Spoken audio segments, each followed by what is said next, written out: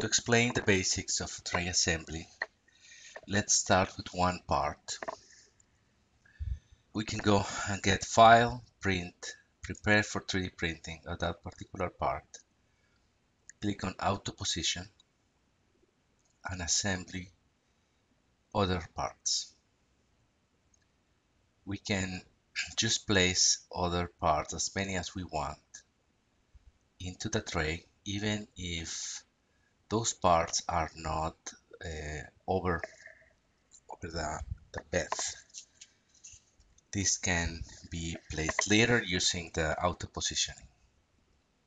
We can also,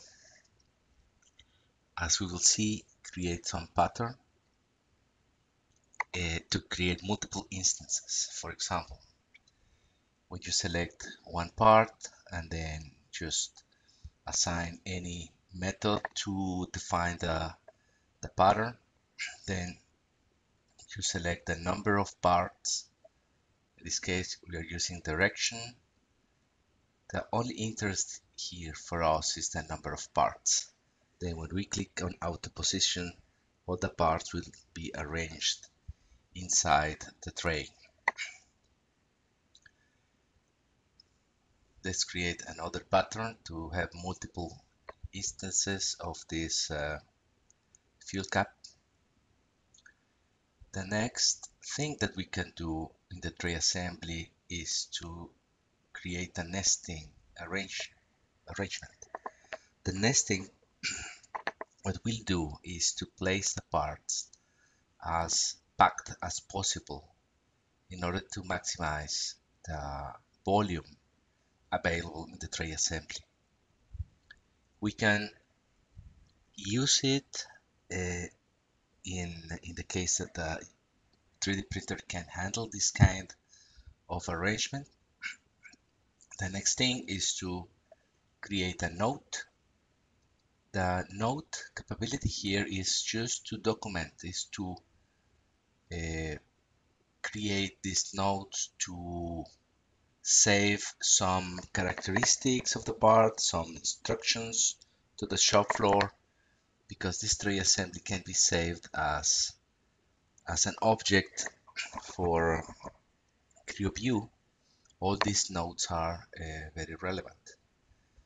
The, the next functionality in the tray assembly is just measure. We can measure, for example, between one part and one of the size of the tray, the box envelope.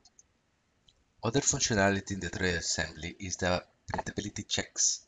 Let's see an example where we are checking against the minimum wall thickness value key in this case 0.7 we select the reference there is one part could be many uh, and in this case we are receiving the uh, the report that there is no uh, thin wall value violation but if we put a different value and check again yes eh, in this case we have we have a problem and we have the values and, and we can act.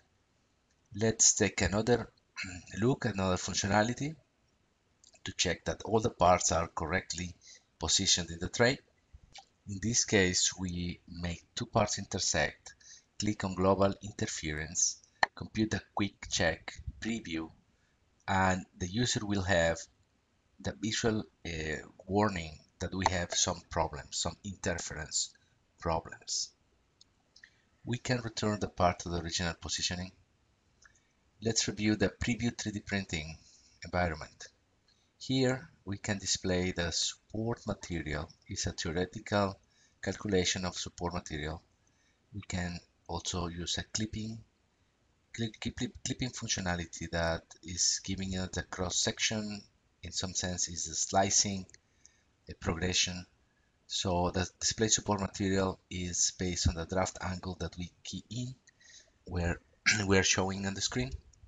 Also something that we can do here is to modify the default uh, tessellation parameters. Uh, in this case we can see in this example if we apply one particular value on the chord height in this case this is very big we can see that the uh, triangulation is very very rough. Uh, now, if we can get a, a, a very small value, then accordingly we have a better definition of the shape based on the triangulation. This video covers only the basic functionality on the tray assembly. If you're interested in knowing more about the advanced uh, tray assembly functionality, including the connectivity with 3D printers, there is another video of this series.